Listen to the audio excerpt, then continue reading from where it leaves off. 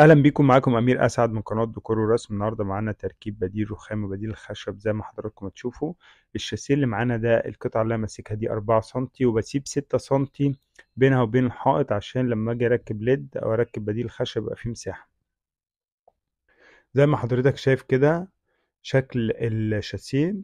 طبعا ده بيتعمل عشان الإضاءة تبقى وراه وبيكون شكله أفضل شوية من اللي هو على الحائط. أول حاجة ببدأ أخد مقاس الشاسيه اللي معايا.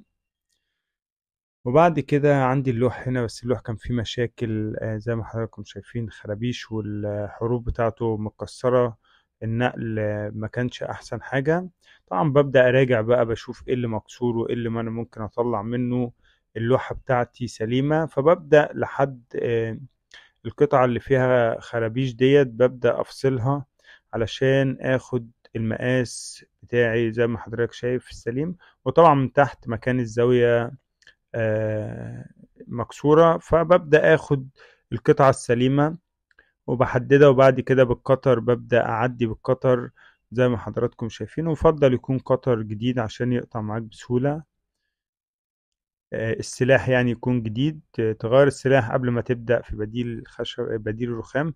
ببدأ بعد ما فصلت ب- بمشي القطر تاني وبجيب زاوية أو أي حاجة مرتفعة كده وببدأ أفصل القطعة بتاعتنا زي ما حضرتك شايف.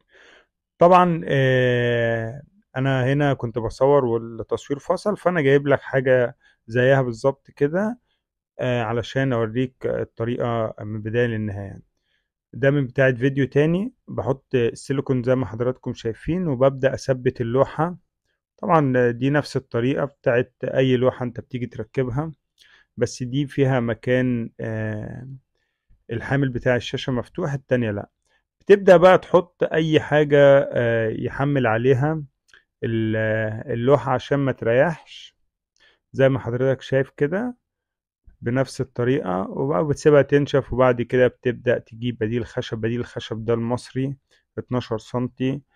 بس مشكلته لما بتيجي تقطع بيعمل أجزاء بلاستيك كده زي ما حضراتكم شايفين لأن الخامة مش مش أحسن حاجة. بس طبعا سعره بيكون آه يعني آه قريب شوية أقل من الأسعار بتاعة آه، ال- المستورد. بتبدأ تحط سيليكون عظم تركي في ظهر الشريحة وبتبدأ تثبتها.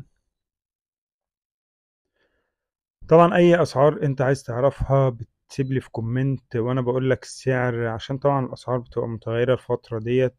فأنت شوف أنت عايز تعرف أسعار إيه حط لي في comment وأنا هسألك.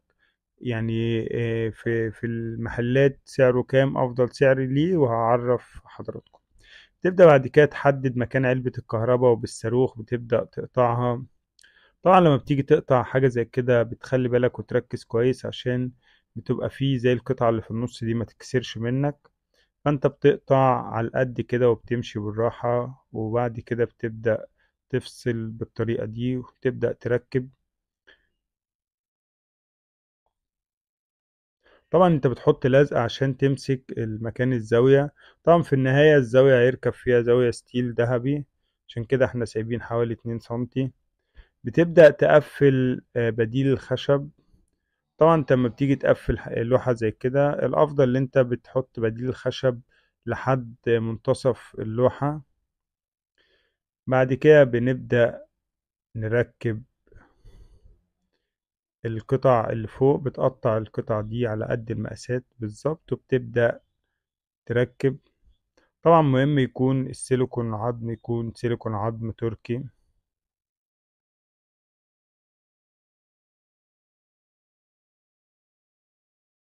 زي ما حضراتكم شايفين ال- ال- الحائط بدأ يظهر وطبعا لما بتيجي تعمل بديل رخام الأسود يعني يفضل البديل الخشب يبقى فاتح زي كده أو أفتح كمان.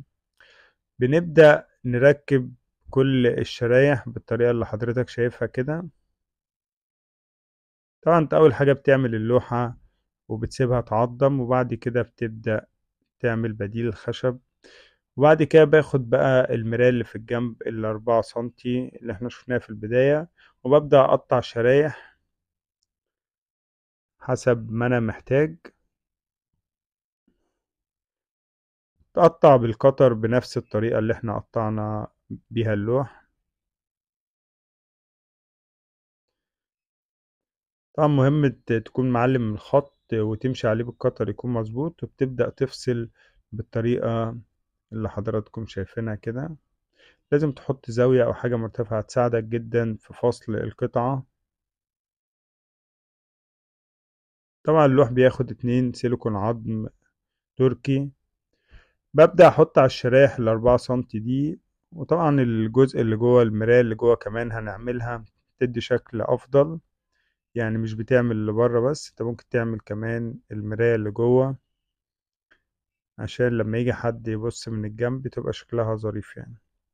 ببدأ أثبت كل الشرايح وبعد كده بشيل ال sticker. طبعا إحنا هنا هنحط شريحتين steel ذهبي. علشان اللون بديل الرخام غامق فاحنا هنحط شريحتين ينوروا شوية ودي بترجع بقى حسب العميل. ببدأ أقطع آه الشرايح ال steel على قد الطول بتاع الشريحة اللي أنا محتاجها وبعد كده بحط سيليكون عظم تركي في الظهر وببدأ أثبت الجزء. طبعا أنت لما بتيجي يعني لو أنت حابب تحط شرايح زي كده بتشوف الشاشة قد إيه وبتبدأ يعني ما ينفعش تحطهم ويبقوا في ظهر الشاشة. لازم تعمل حساب الشاشة. بعد كده بحط لزق وباجي للزاوية دي المقابل بتاع بديل الرخام بيبان جزء فيه أبيض. فأنا طبعا عشان أداري الموضوع ده بجيب لون أسود وببدأ ألون الحرف ده بحيث اللي هو ما يبانش معايا بعد ما أفنش. وبتبدأ تنظف بقى وتفنش الشغل بتاعك آه عشان تتأكد برضك اللي مفيش خربوش أو حاجة عشان لو في حاجة ممكن تعالجها برضك بلون أسود لأن اللوح ده كان فيه آه يعني خبطات كتيرة فبتبدأ تنظف شغلك وبيظهر معاك وبتشيل آه ال sticker اللي على آه ال steel زي ما حضراتكم شايفين.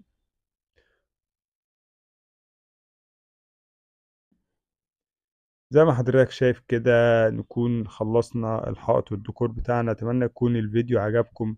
لو عجبك الفيديو ما تنساش تعمل like. لو أنت مش مشترك معانا في القناة اشترك وفعل الجرس ليصلك كل الفيديوهات الجديدة. لو أنت عندك أي سؤال حطه لي في كومنت أو عايز تعرف أي أسعار أشوف حضراتكم على خير في الفيديو القادم إن شاء الله.